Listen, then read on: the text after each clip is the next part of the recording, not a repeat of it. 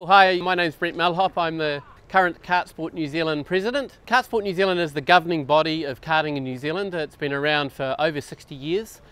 We rate all of our facilities throughout New Zealand for the type of events that we run. An A-rated track is the top track, which means that you can run what we are running today, a national event. You have to have a whole lot of facilities um, in place to be able to run that. And one of those facilities that is now mandatory required is that you have electronic lights.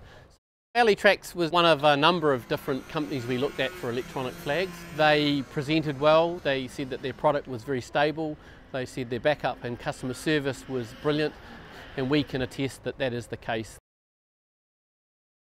I'm Johnny, I'm one of the race officials here at Kartsport Hamilton. This weekend I'm Chief Steward. The whole system in general is really handy. It means don't need all the volunteers that we used to on the flag points. It comes down to one or two people manning the whole circuit. And the fact everything's documented, every time we hit a yellow flag, we get a timestamp. We can prove that the yellow flag, red flag went out. And, you know, we're breaking a 50 year habit of having flags.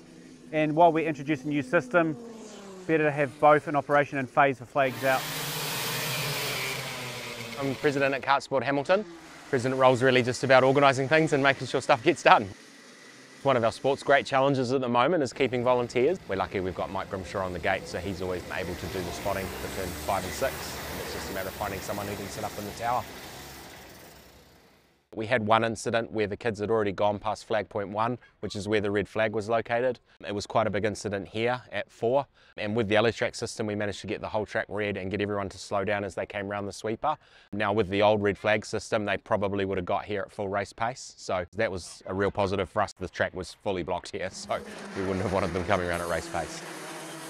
And I mean, ultimately, the sport's two things. You know, for a lot of people, it's a fun hobby, which is fantastic. And for a lot of people, it's the beginning of a career as well. So for a lot of these kids, if they want to go and do stuff internationally or in race cars, they're going to have to learn to deal with a light system. So it's just part of that learning experience for them, I think. Uh, hello, my name's Mitchell Sparrow from Kartsport Hamilton.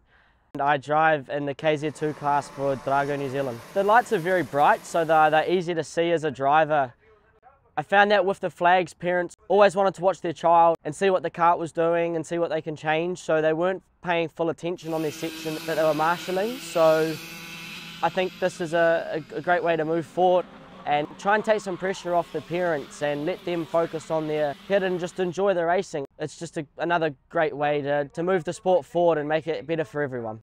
And at the end of the day, if you're looking for a solution that has good backup, good support and delivers on the promise, I'm very comfortable to recommend Alitrax.